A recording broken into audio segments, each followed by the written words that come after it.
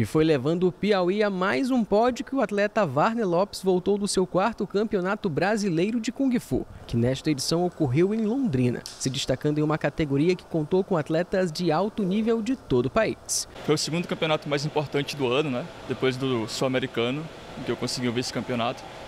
E esse foi o campeonato brasileiro mais difícil e mais concorrido. Teve mais gente participando também nos últimos anos. Nos quatro anos que eu fui, esse foi o mais bem organizado e o que teve mais um nível altíssimo de atletas, né? Teve um nível mais alto.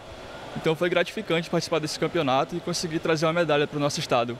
Além da conquista e da experiência, Varner também garantiu outra vitória, que foi a convocação para mais um treino com a seleção brasileira, que deve acontecer ainda no fim do ano. Um caminho importante para a convocação do Mundial que acontece na China no próximo ano. Próximo ano é ano de Mundial e até por isso teve mais gente participando nesse campeonato, porque todo mundo queria buscar uma vaga para o Mundial da China. E aí o Mundial vai acontecer em Meituan, é, na China, ano que vem e vai ter dois treinos para decidir quem vai para esse campeonato e mais um treino para a equipe que for selecionada. Se no Brasil a gente já tem atletas de alto rendimento, quando a gente fala de América Latina, imagina quando você vai lá para a China, né, disputar justamente no reduto. O que, que isso representa para um atleta? Então, a China é um sonho, né?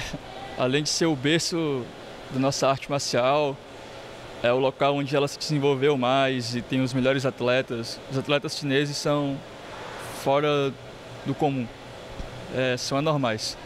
Então você ir para esse lugar, além de trazer a riqueza cultural, ainda tem a parte do aprimoramento técnico, né? Você está competindo com atletas de altíssimo nível, isso desenvolve você, você aprende muito nessas viagens. Indo para o brasileiro, você já aprende muito. Nos treinos das seleções, você já aprende muito. Então, a China então nem se fala.